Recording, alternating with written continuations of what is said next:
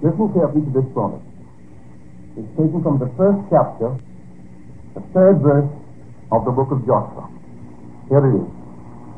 Every place that the sole of your foot shall tread upon, that have I given unto you. Do you believe it? Well, I know it's true. I have proven. But this promise is made not to be out of you. It's made to be in you. Maybe you're not even aware that there is an inner you, a real you. In the New Testament, it's put in this manner.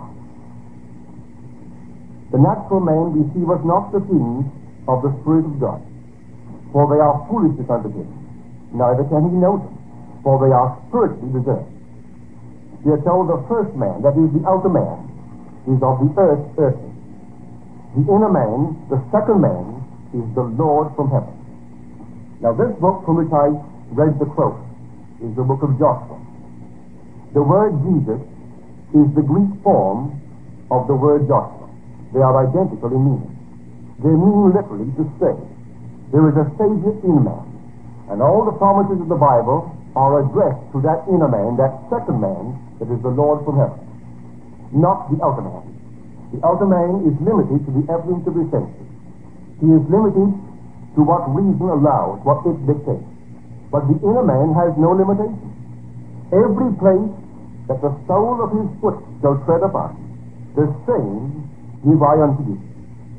Now let me show you how it's done. For I was confronted with what seemed at the time to be an enormous problem, an impassable barrier between myself and my objective. I hadn't seen my family in Barbados for the entire war years. So the first ship out of New York City that sailed for the Indies after the war was over, I sailed with my little family for Barbados. We took a boat that took us to Trinidad, and from there we flew to Barbados. On arrival, my brother asked me when I intended returning to America. Well, this was early January. I said, we are home after so many years. I would like to remain all maybe the end of April and return around the 1st of May. Then said he to me, Of course you arranged your return while you were in America. I said, No, I didn't. He said, Neville, how could you have left America, that is the capital of the world? Everything goes on there, especially in New York City. And if any passage could be arranged, certainly it should have been done in New York City. Do you realize that there are literally thousands, tens of thousands of people waiting all through the island for passage to America? And little Barbados has nothing to offer. There are only two ships that ply the waters. One sails out of Boston carrying 120 passengers, and one sails out of New York carrying only 60. And I am told that all space, all available space is already committed right through the month of September. And here it is January. Not only the space is committed, but there are actually thousands of people waiting on a waiting list. If you put your name down with your family of three, you are at the bottom of the list. It will take two years to get out of there. I didn't tell him what I'm telling you now. I didn't wish to disturb him because he didn't know or was not familiar with this technique. I made no effort to book passage. I simply put my name, yes, at the bottom of the list. But I wasn't concerned. This was January, and I am in Barbados for vacation. So I'm not going to be concerned and spoil my vacation about the lack of passage. I wanted to get back in New York City around the 1st of May. So this is what I did based upon this promise. At the very end of March, I saw the ship that sailed for New York, leaving the boat, leaving the bay. I had a good mental picture of what she looked like, a small one. So that day, as I returned to my hotel, after lunch, I sat in a nice easy chair in my room, and to see what I did. I knew that if the inner man could perform an action, that the outer man would be compelled to duplicate it. For whenever the action of the inner self corresponds to the action which the outer self must take to appease desire, that desire must be realized. So I made as lifelike and as living a representation as possible of what I would see and what I would do and what I would hear were I physically present on that ship. Well, I knew one thing I would have to do if I sailed. You see, in Barbados, there is no deep water harbor. That is not as yet. So all passengers must take a small little ship, we call them tenders, like a little launch, and move off maybe a mile or maybe three quarters of a mile to sea. Then your little ship is lashed alongside of the big ship, and a gangplank is lowered, and you walk up the gangplank. That's one act I would have to perform if I sailed on that boat. I could perform it as a visitor, but the emotion of someone who actually is sailing differs from the emotional one who is only visiting, seeing a friend off. So I had to catch a sort of a mixed emotion. For it was a peculiar, sweet sadness. I was leaving a very wonderful and large family behind me that I had not seen in six years. Although I was returning to a home that I loved in New York City, I was happy to get back be sailing, but I was sad at sailing. That sort of feeling that mixed together joy and woe. As the prophet says, joy and woe are woven fine, a garment for the soul divine. So I knew exactly what he meant, the experience of mixing these two emotions into something that was a sweet, sweet sadness. So, with my fixed in my mind what I would have to do, I, sitting in a chair like I'm sitting here, I first induced a dreamy state. And the reason for that is this. We are told in the book of Job, in a dream, in a vision of the night, when deep sleep falleth upon men, in slumberings upon the bed, then he openeth the ears of men, and seeth their instruction. Well, I knew the one who would see it was within me, for God is in man, not on the outside of man.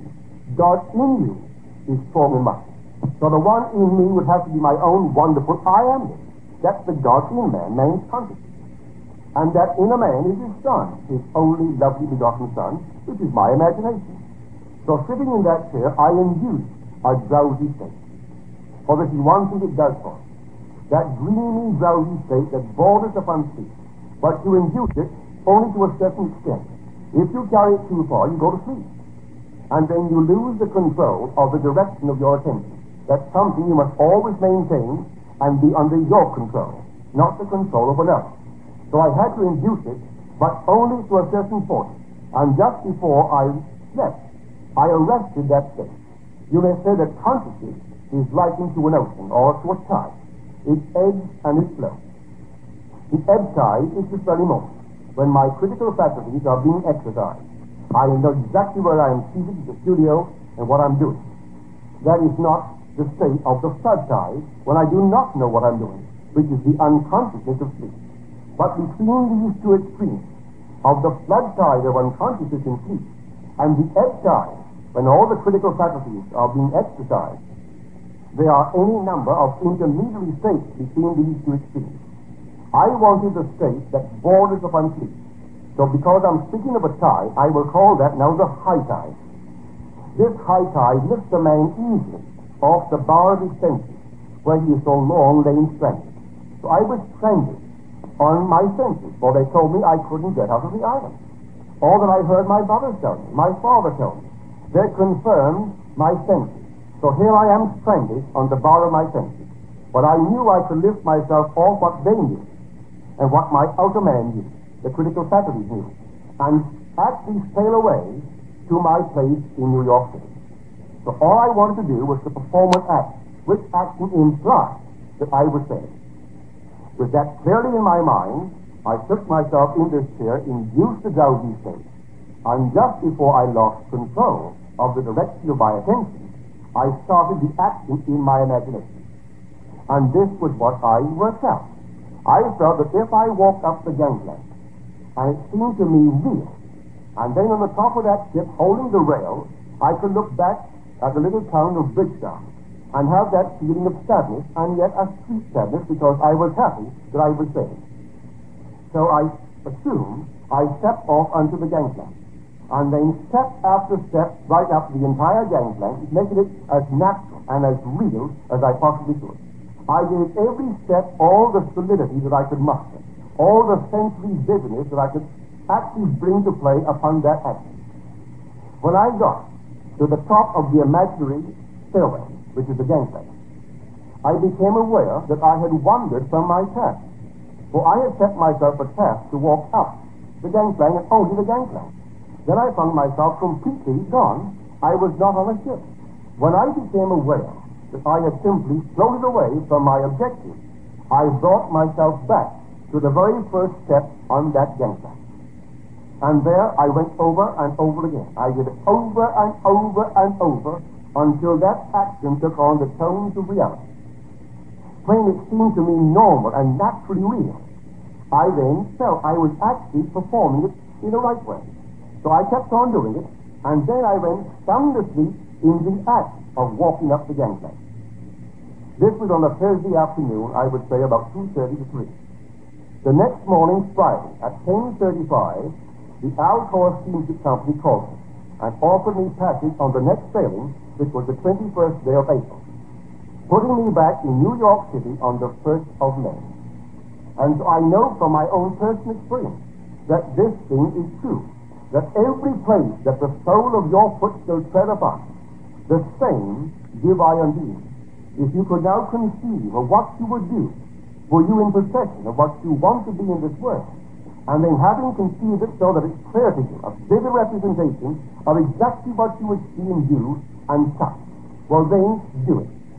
Do it over and over until it seems to you real. And while you are doing it, in that dreamy, drowsy state, allow yourself to slip into the deep of sleep in the act of doing it. When you wake the next day or five minutes later, in my case, I woke maybe half an hour later. I was inwardly rehearsed in what would take place. All the people who played their parts, the steamship agent and all the people who did it on the ship, they were bystanders in my scene. I made my scene so real, and because of their physical presence, they became related to my scene. And because they related to it, they were drawn into my drama and had to play their part. I didn't think of the captain's name or the steward's name or any person on the ship who might be sailing as a passenger. I didn't concern myself with how it would happen. I knew it would have to happen. And in less than 24 hours, I had confirmation of my passage as I sought, as an outer man seeking and couldn't find. But the inner man can find it. This is based upon this simple principle that whenever the action of the inner man corresponds to the action which the outer man must take to, I would say, realize his dream or to appease his hunger, that must be done in the outer world. I know. So when I returned to New York City, I told my experience to my audiences at Chung Hall. A man present said to himself, he didn't say to me, he said to himself, I'm going to disprove this principle. I'm going to do it tonight. And this is what he did. He hadn't climbed the ladder in years. There was no occasion for it. But that night, because he had never climbed that, not, not never, but he hadn't climbed it in years, he thought he would do that, for there was no occasion for climbing a ladder. So he sat in his easy, chair, and he took this imaginary ladder, and up he climbed the ladder. He did it over and over, climbing a ladder, until he went sound asleep in the act of climbing up a ladder. Four days later, he visited a friend he hadn't seen in years.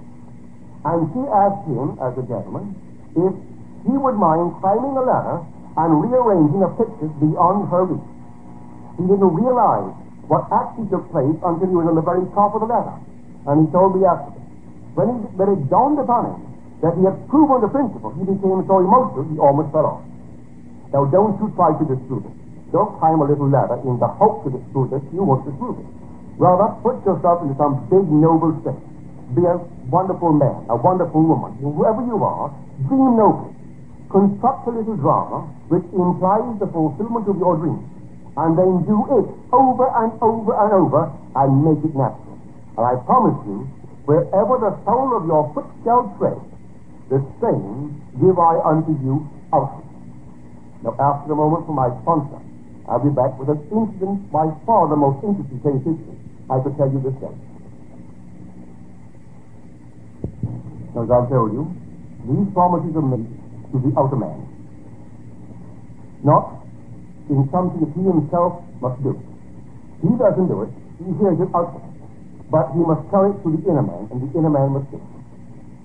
I told the story you've just heard in San Francisco. A blind girl was in my audience, and she was faced with this problem.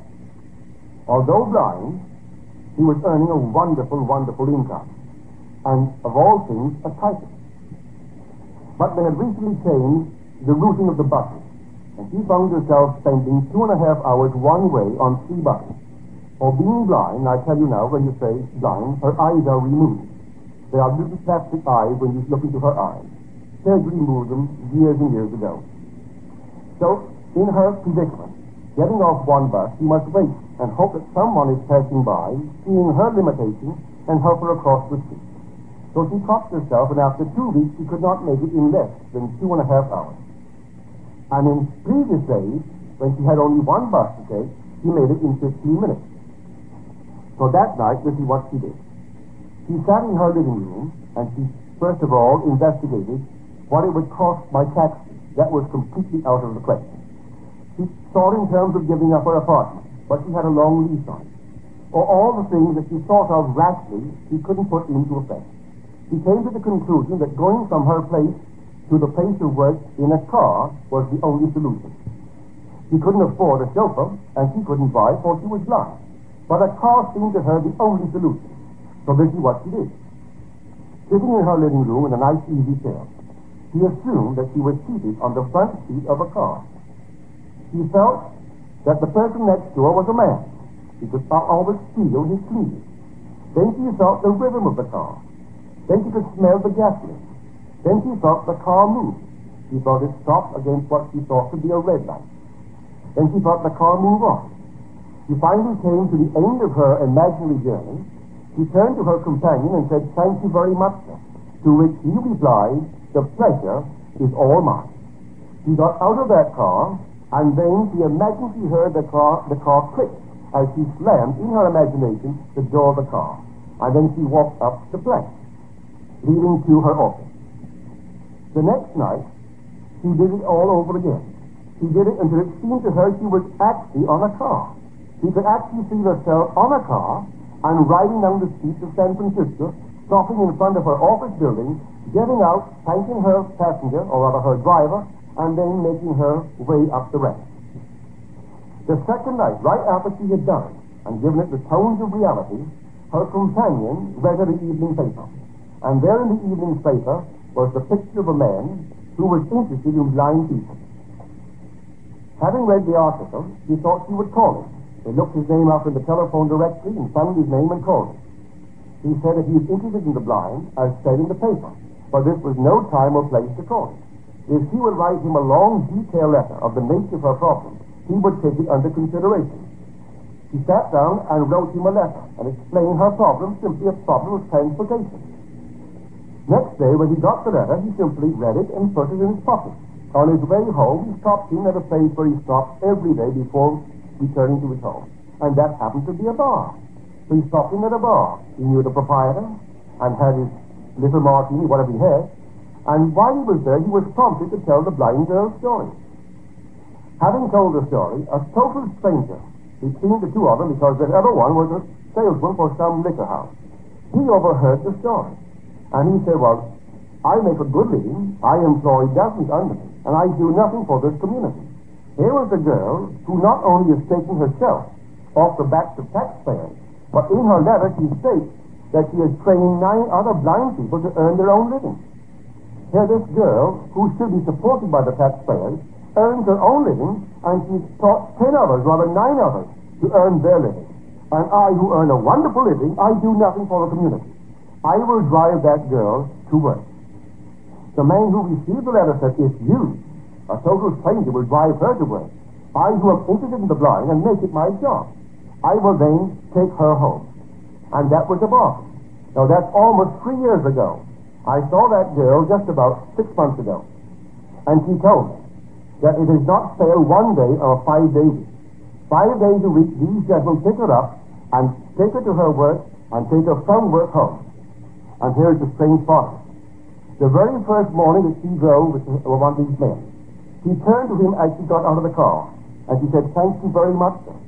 To which he replied, The pleasure is all mine.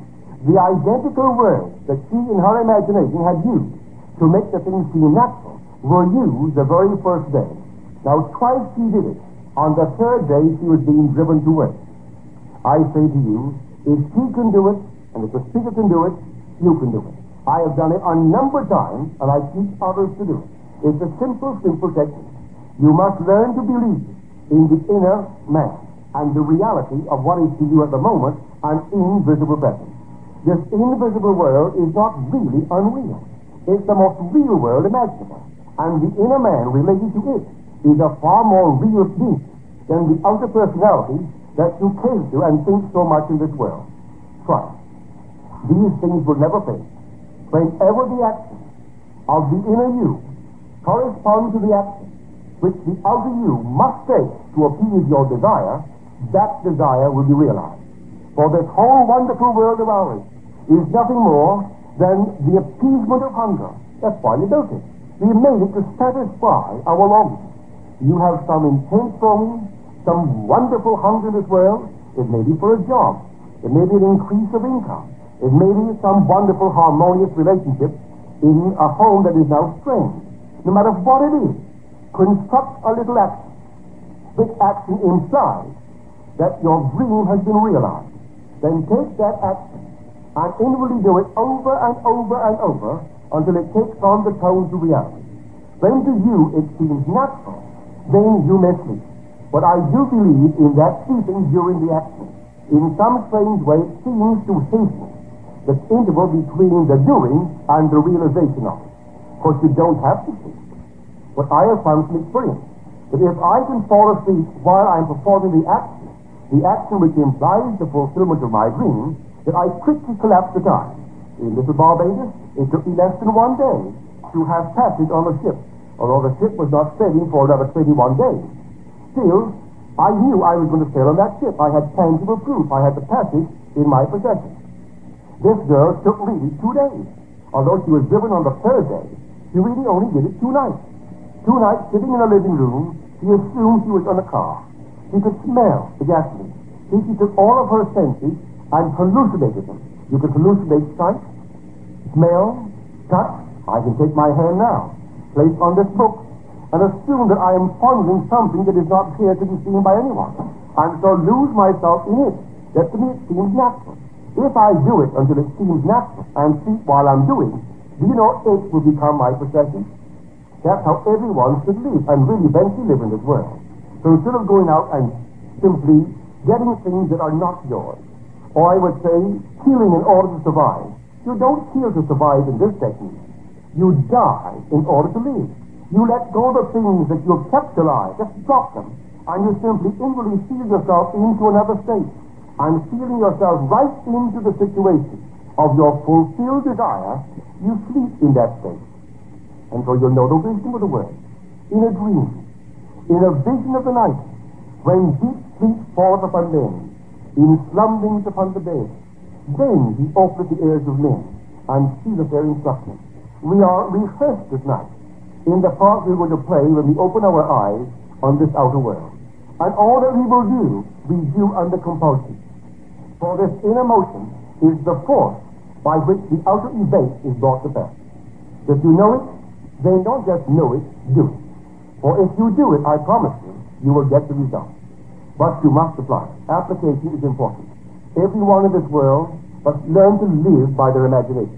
And only as you live by imagination can we truly be said to live at all. Now here, in this book of mine, Awakened Imagination, you will find that case history of the blind girl. Read it and apply it and become the man, the woman that you want to be.